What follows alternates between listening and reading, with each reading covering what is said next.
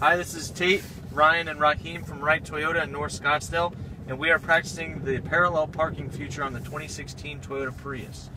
So basically, all you're going to do is you're going to have the car search for a parking spot, and right now we're looking to, to do this spot right over here.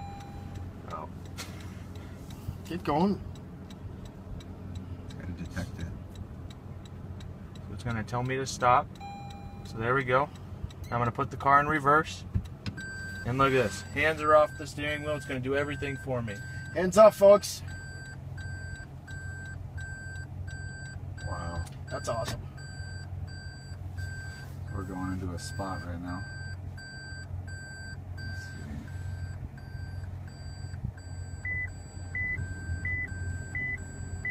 Now all I have to do is I have to switch it into gear. So once I hit this, this stop sign right up here, it's going to tell me to shift to drive. So now I've shifted the drive, and you can see the steering wheel is turning. Are you putting your foot on the gas? Nope. You have to control your brakes, though. So now I got to shift to reverse to get perfect. And then after this, what I'm going to do is I'm going to show you how it takes you out of the parking spot as well. So right there, boom. That's this complete. I'm in park. So now if I wanted to get out, I press this the P button with the steering wheel. Press this. I turn on my left turn signal because I want to exit to the left. And I'm going to shift in reverse to start.